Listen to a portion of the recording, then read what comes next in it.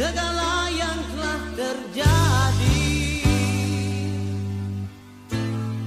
Menimpa diri ini. Tak bisa